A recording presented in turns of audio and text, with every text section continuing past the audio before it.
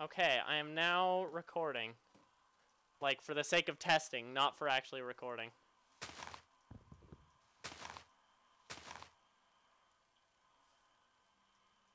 Okay, I am talking to myself to test my microphone volume. And I am explaining to you what I am doing, because why not?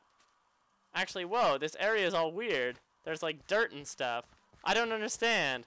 Whoa, there's like mossy cobblestone. What the heck is this?